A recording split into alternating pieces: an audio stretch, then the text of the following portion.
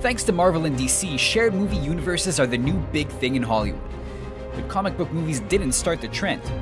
Filmmakers have long been looking for intricate ways to connect their projects, including fan favorite director Quentin Tarantino. Here are Screen Rant's 10 hidden clues to Tarantino's shared universe.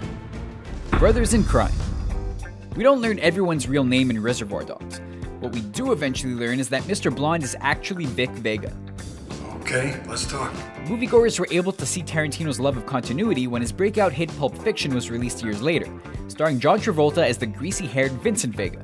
Tarantino would later confirm the two characters were brothers, and he even planned to film a prequel starring the siblings before their respective films.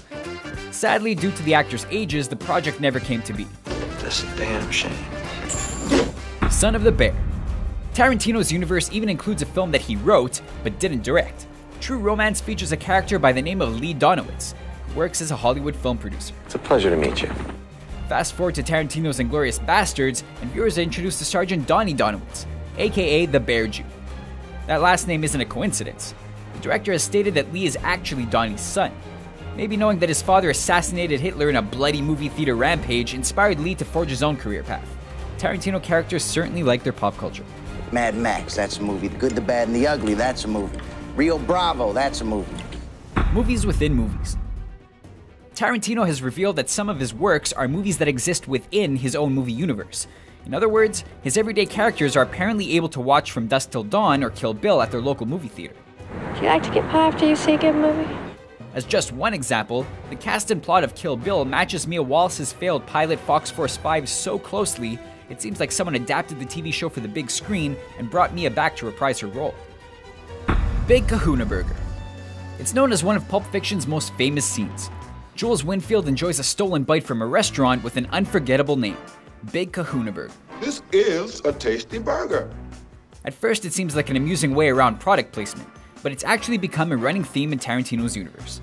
Audiences first got a glimpse of Big Kahuna in Reservoir Dogs, when Mr. Blonde enters the film's central warehouse, and it's even been featured in From Dusk Till Dawn.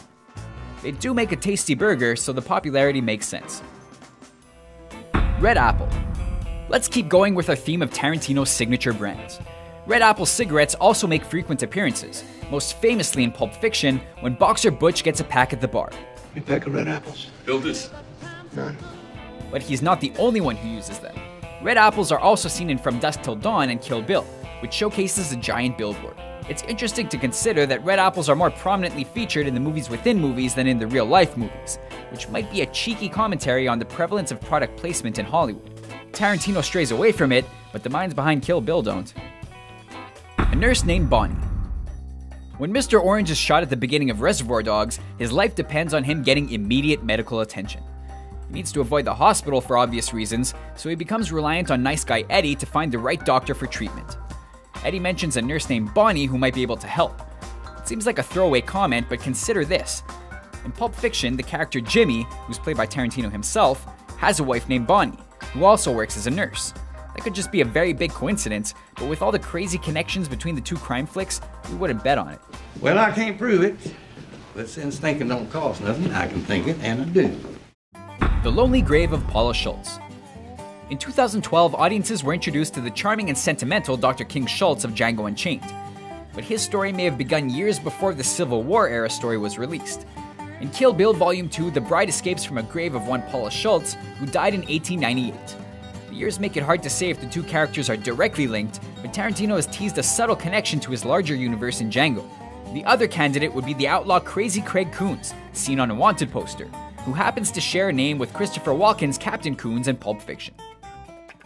Mr. White in Alabama.